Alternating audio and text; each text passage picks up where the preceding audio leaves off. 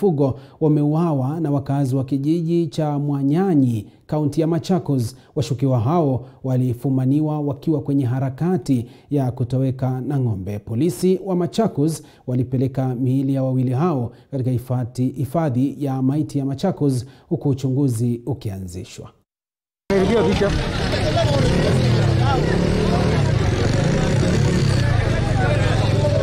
Sahii wamekujia mara pili na wame wamepatikana wale waizi wa, wa wawili na wamepigwa na mawe wakachom, na wakachomwa.